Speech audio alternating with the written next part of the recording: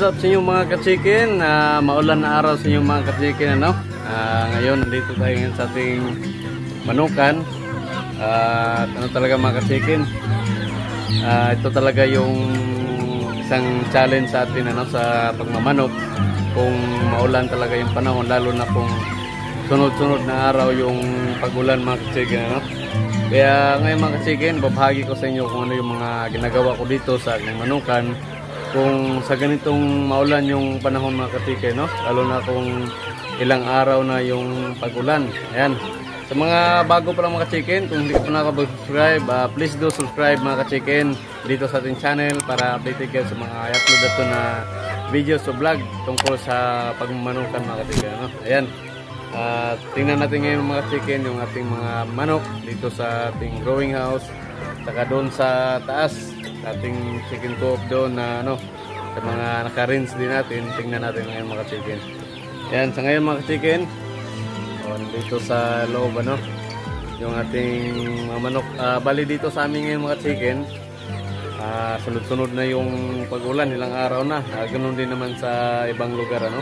Uh, ilang araw na din. Uh, dito sa amin marami ng mga natipak na daan.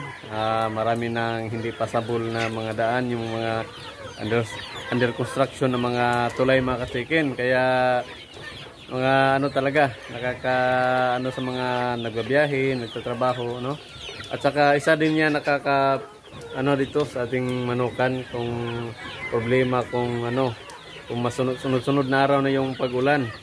Kasi yung ating mga manok ay prone yan sa mga sakit. Yun, no? Kaya yung tips ko mga chicken, yung iano ko sa inyo ngayon, yung ating mga manok, uh, ano sila, pag ganitong maulan yung panahon mga chicken ay dapat talaga hindi natin sila pinapalabas ano. Uh, dapat ano sila naka-intact lang sa loob nang hindi maulanan. Ayan. Uh, hindi natin sila muna paggagalain lalo na yung mga nakaka-range natin o pinapa-range natin ng mga alagang manok kaya yan talaga yung importante mga ka-chicken no, sa ano, na pag-alaga ng manok natin na mayroon talaga sa masilungan o pinakabahay ng manok ano. Saka yan mga ka-chicken no. Oh, ito sila. Uh, intact lang muna natin sila diyan sa loob. Saka yung ating sola, doon lang, namamayagpag pa rin. No? Uh, yung asola naman natin mga chicken ay advantage sa kanila yung ganitong panahon, maulan, kasi mas mabilis silang dumadami mga chicken pag ganito yung panahon. Ano? At kung mapapansin nyo mga chicken, pag ganitong maulan yung panahon mga chicken, uh, para hindi madaling matamaan yung ating mga manok ng sakit mga chicken. Magbigay tayo ng antibacterial sa kanila. Uh, tulad nito mga chicken no? ito yung uh, binibigay ko sa kanila. Ito yung mga nabibili natin sa mga agribit supply mga poultry supply mga antibacterial. O mayroon na siyang mayroon itong amoxicillin at saka paracetamol yung ating antibacterial na ito. Ayan uh, pwede natin itong bilhin doon sa mga aggregate supply no? Uh, bigay lang tayo nito for prevention sa kanila. Ganon din dito sa mga sisiyo natin no? Ng mga tag 1 month old uh, sobra na ano?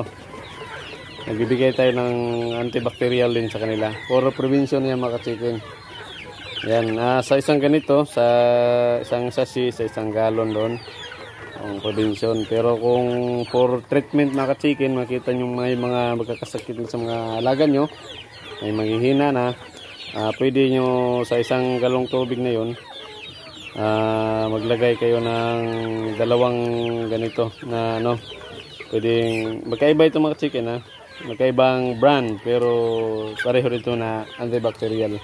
Saka meron pang iba din mga chicken nung nabibili natin doon aside nito Uh, magtanong lang tayo sa mga agribit supply, mayroon din iba doon kaysa dito, may ibang klase pero dito ito yung nagagamit ko no. Yan. Uh, from ano to, Battle Cock at saka Tatak Excellence. Oh, baka naman. Yan, yan yung binibigay natin pag ganito, nagpe-prevention tayo.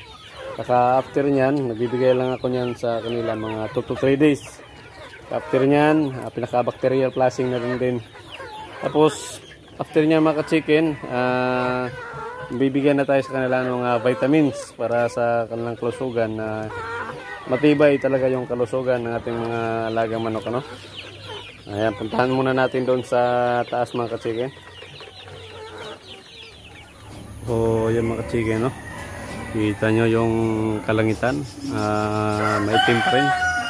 Sunod-sunod na na araw na umuulan lang talaga ng tuloy-tuloy.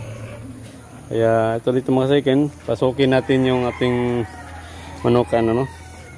Ito yung disadvantage din mga ka-chicken pag simento yung ating ano, naka-concrete o simentado yung ating ah, area. Yan.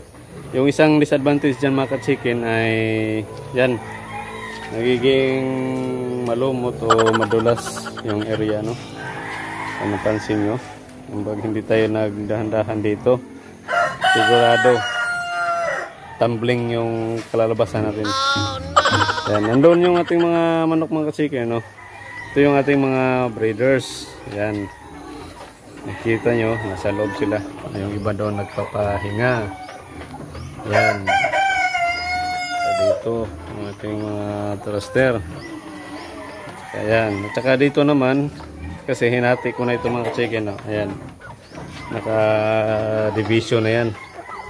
Saka dito, ito yung mga nire-range ko dito na manok sa labas.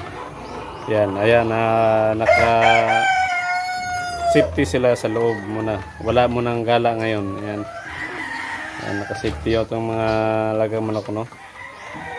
Uh, bawal muna yung lumabas. Ayan din makita nyo.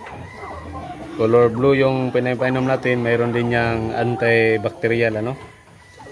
Na powder yung hinalo ko para prevention sa ating mga manok.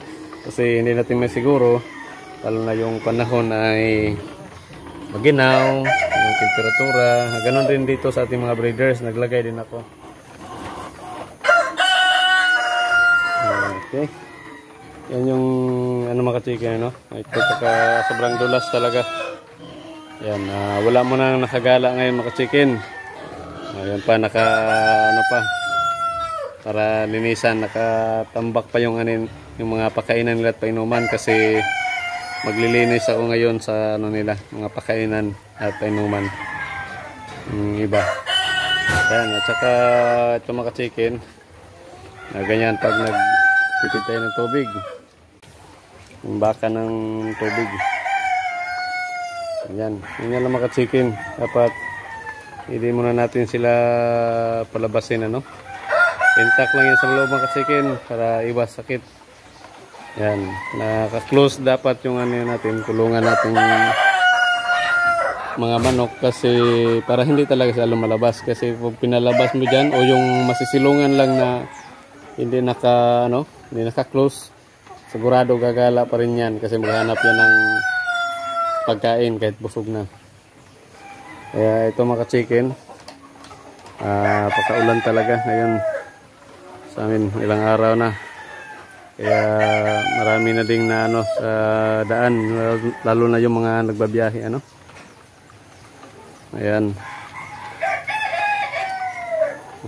Okay ganito lang mga chicken yung gagawin natin pag maulan yung panahon ano oh ayan lang mga chicken ano ganun lang yung gawin natin pag maulan yung panahon uh, dapat natin i-secure o i-safety yung ating mga alagang manok ayan o ayan mga chicken, napaka simpleng tips lang yan ano. Uh, sana'y may naitulong sa inyo lalo na doon sa mga baguhan pa lang sa pag-alaga ng mga manok na gusto din makakuha ng idea no. O, kung ano dapat yung gawin nila ng bahay ng manok. Ayan, malakas na yung ulan mga chicken.